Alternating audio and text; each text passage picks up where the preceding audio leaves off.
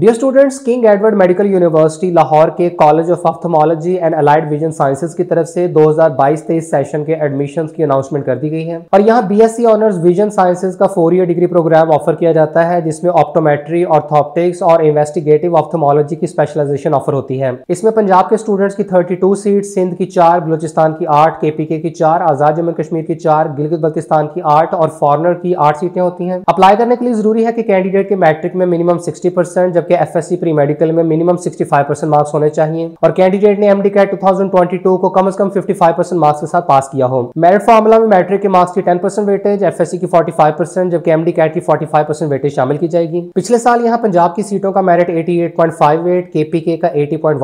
AJK का eighty जबकि सिंध का एटी